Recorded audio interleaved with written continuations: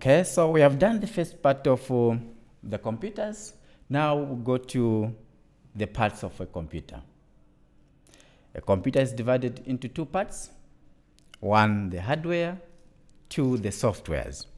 Okay, like the human board, we have the physical board as well as the spiritual board. So similar to the computers, there is a hardware, something that you can touch, then a software, something that you cannot touch. So hardware basically are defined to be the physical, touchable, and visible parts of a computer system. Okay. Then the examples of hardware, mostly these are central processing unit, memory, which is the RAM, storage devices such as hard drives, CDs, CD-ROMs. Then input devices, we have keyboards, mouse, scanners, joysticks.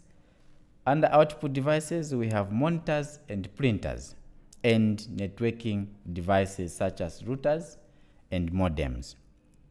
Okay, so most in the physical class, I make it uh, the four categories of hardware, which I've said one, the storage devices, two, the input devices, output devices, and networking devices. So be able to divide the hardwares into four categories.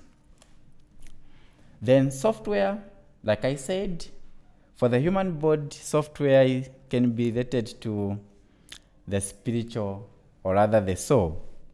Okay, now coming to the computers, a software is simply a set of instructions that are installed in the computer memory.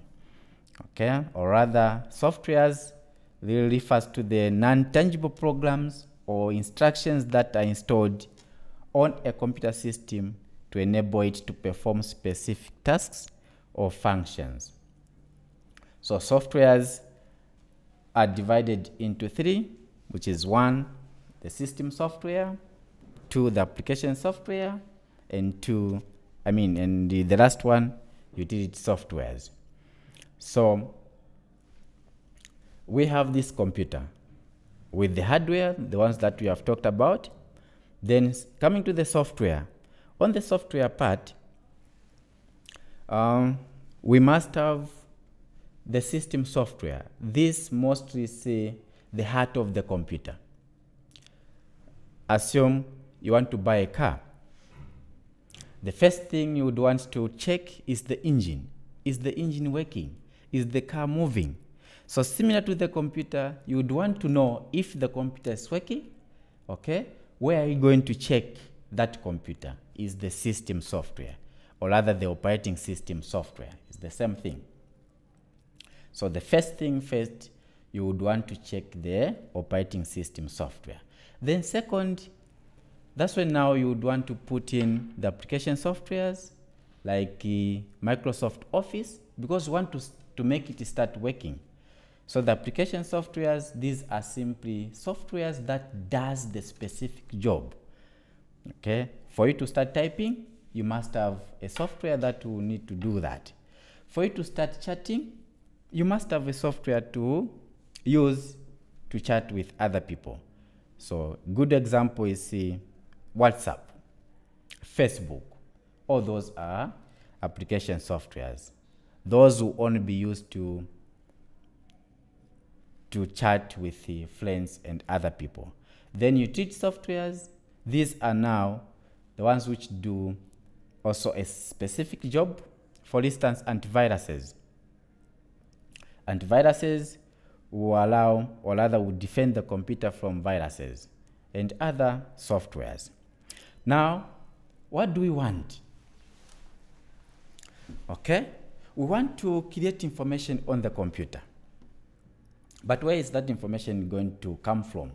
That's why a computer has a keyboard. Okay, the keyboard has got data. So the only thing here I want to describe or rather differentiate between data and information. Which one is data? Which one is information?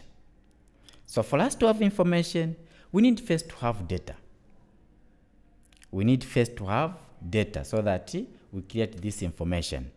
So data is simply the raw facts, figures, or numbers. If you look at the keyboard, the keyboard has got alphabetical order there. That alphabetical order is a good example of data.